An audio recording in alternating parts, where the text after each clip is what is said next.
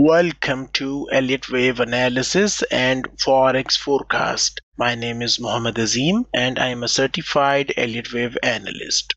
This video is brought to you by ReadyForex.com. Risk disclaimer Press the subscribe button and hit the bell icon to never miss upcoming videos.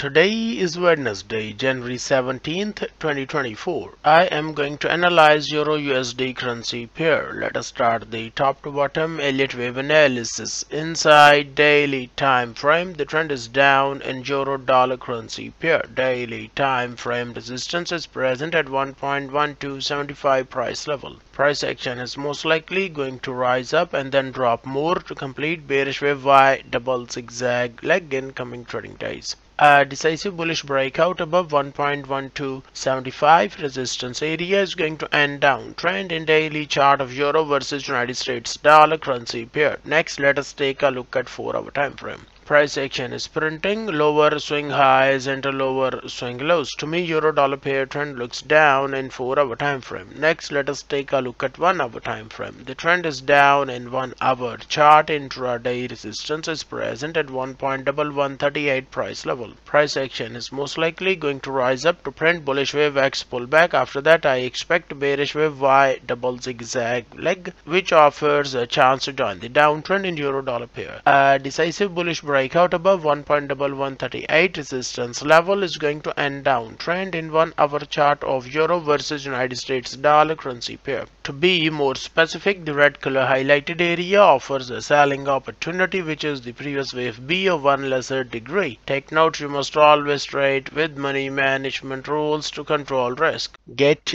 daily forex signals. I have placed my website link inside video description.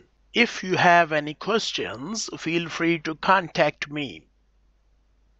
For more Forex trading information, visit readyforex.com.